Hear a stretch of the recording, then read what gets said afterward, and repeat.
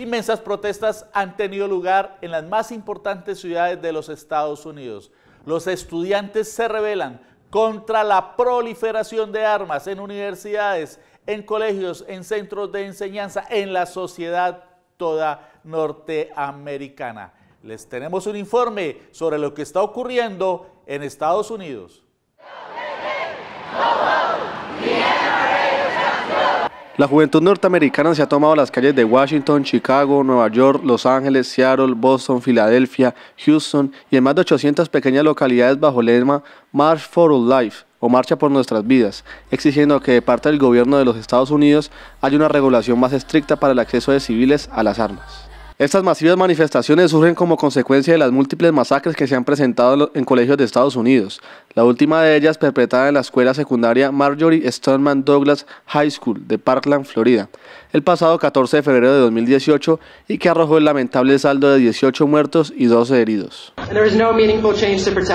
No hay ninguna medida significativa para proteger a los niños. Está claro que la sociedad, nuestros políticos y nuestras leyes nos han fallado. Y es por eso por lo que estamos determinados a hacer este cambio obvio y necesario.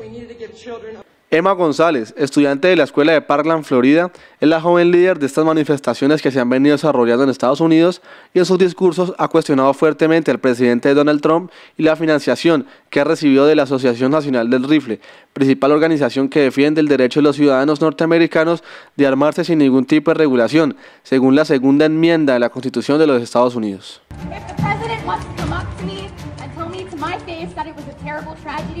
How it should never have happened and maintain telling us how nothing is going to be done about it, I'm going to happily ask him how much money he received from the National Rifle Association.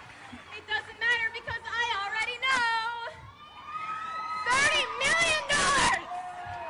And divided by the number of gunshot victims in the United States in the one and one half months in 2018 alone, that comes out to being $5,800. Is that how much these people are worth to you, Trump?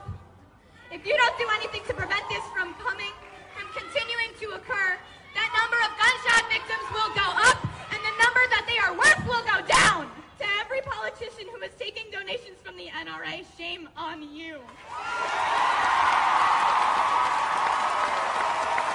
Se abre de nuevo el debate en la sociedad norteamericana sobre la necesidad de una regulación en la compra de armas de fuego, ante las manifestaciones de millones de estudiantes que claman que no acaben con sus vidas y que el Estado no siga siendo cómplice de las centenares de masacres cometidas al amparo de la anacrónica norma que permite la venta libre hasta de fusiles sin ningún control.